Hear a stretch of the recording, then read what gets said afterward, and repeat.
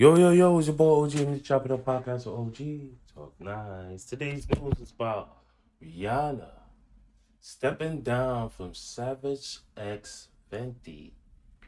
She steps down from being a CEO. Yes, I know, it's crazy. Now, a lot of people assume it's because she's pregnant. No, she still wants to move, you know what I'm saying, the brand and expand the brand to higher heights. So guess what? She hired Hillary Super as the new CEO, and she decided to become a chairman. Oh, talk shit, Rihanna! Huh?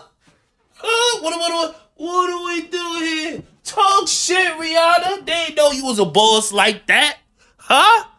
Making moves inside your own company. They thought something happened. They was like, why is Rihanna stepping down? No, keep calm. She still did. She's working to expand the brand. She says she wants to connect more with the people. She wants to connect more with the consumer. And she wants to further the brand and learn more. Oh man, this is a beautiful thing. You know, Rihanna, she got a lot of projects coming up. You know what I'm saying? She might she might be dropping an album soon. We don't know. We don't know. But we loving the boss moves she's making. And guess what? You know, once you have a brand out there, folks, you got to move your brand. You got to keep on expanding your brand. Don't think small. Hmm? Don't think small. Don't limit yourself. Do not limit yourself. I mean, of course, you can think small stuff, go off big, but never limit yourself, guys. Never limit yourself. Cause Rihanna ain't. She ain't doing that. she she going after that Skrilla. You heard me?